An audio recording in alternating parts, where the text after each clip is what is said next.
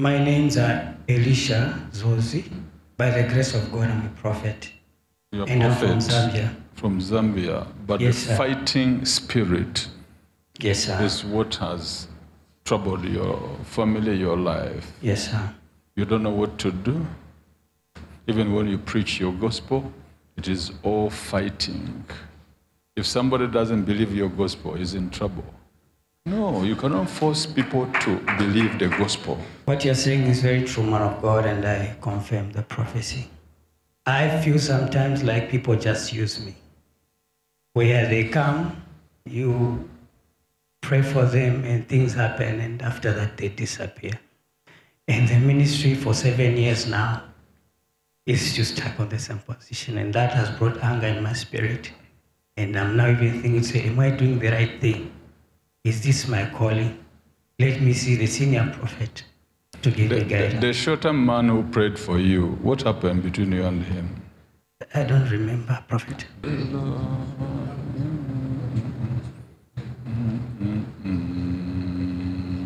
I I think this one is, is not so short, but is shorter than you. Yes, sir. Yes, I remember. What you're saying is true, man of God. I remember. The man who looks at him, short like this, prayed for me. For me, I remember very well. But that man is no longer with us. He was Bishop Zulu, the spiritual father to my brother, who is also a, a, a bishop.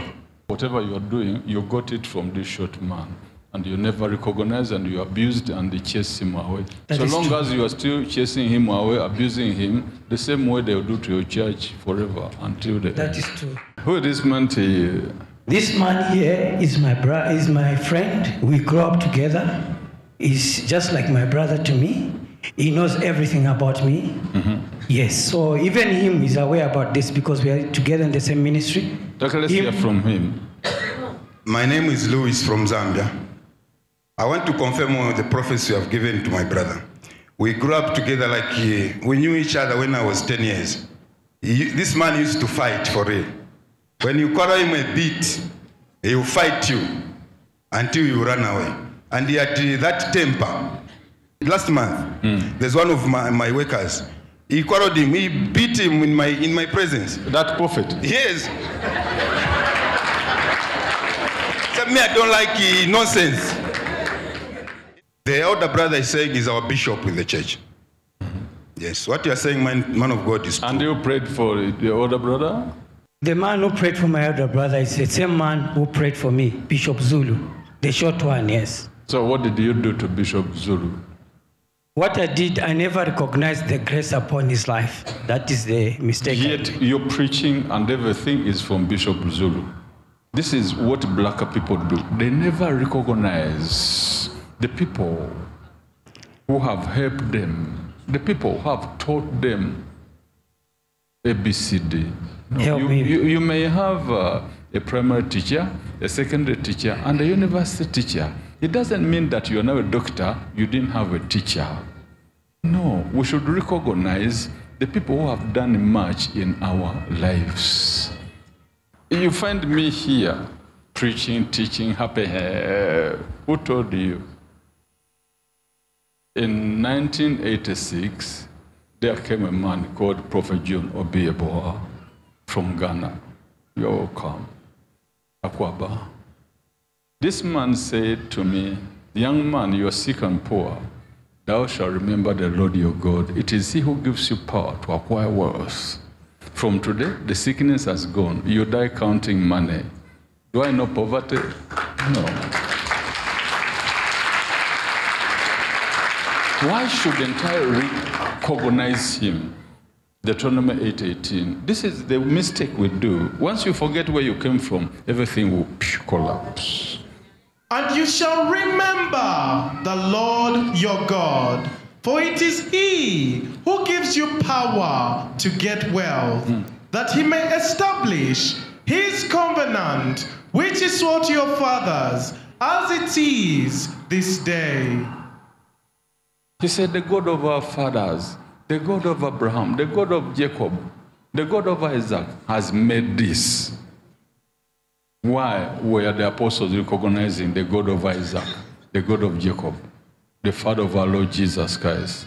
Why were they recognizing them? You must be from somewhere. When he arrested in uh, 87, then in 2000, I went to meet Prophet TB Joshua.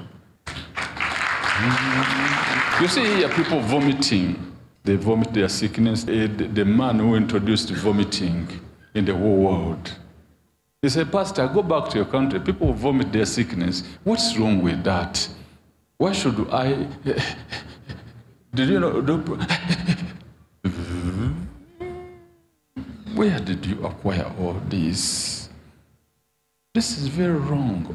Recognize him. He is the one who prayed for you to have or whatever uh, you are doing. And in your preachings, you remember him. Sir. His verses he used. Yes, sir. John 4 5, you used them. Yes, sir. What you're saying is very true. I, I didn't recognize His grace and I, I didn't even take anything to Him to honor Him. So That- please that help is- me. That is why all your things are going astray. That is why the people you pray for, they run away from you because you never recognize. But for me, uh, and my family, I will continue to, to appreciate the life of Prophet John Obieboa from Ghana, the life of Prophet T.B. Joshua, Yes, these two people, they have done a lot, a lot in my life. So I'll continue to appreciate them. They did the good for my life. Yes, Prophet. If to others they got zero, I, I think I should recognize the marks I got from them. Yes, Prophet. Don't listen to those who got zero. We went to Prophet TB Joshua, the miracles. Why do you talk zero? Don't talk zero. Let us talk who got the marks. God bless you, prophets. God bless you in Jesus' name.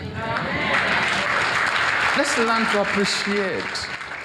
As much as you don't appreciate Bishop Zulu, your church will never move. Man of God, what you are saying is true.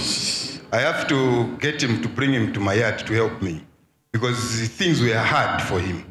Go back to Bishop Zulu and kneel down before him and say, I'm sorry.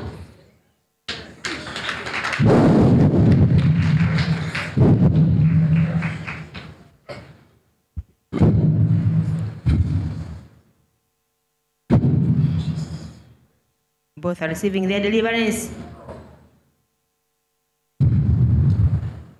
In the name of the Lord. So long as you don't recognize where you come from, you are in shambles. Deuteronomy 8, 19 and 20. Then it shall be, mm. if you by any means Yes. forget the Lord your God Uh-huh. and follow other gods Yes. and serve them mm-hmm. and worship them, mm. I testify against you this day mm. that you shall surely perish. As the nations which the Lord destroys before you, so you shall perish, because you would not be obedient to the voice of the Lord your God. Go back, take $3,000. Go, whether you borrow them, take to Bishop Zulu. Kneel down, buy him a cow, buy him rice. Say, I'm so sorry. Prophet Kakande told me to come back and say, I'm sorry. Bishop Zulu, I'm sorry. Yes, prophet, I will do so.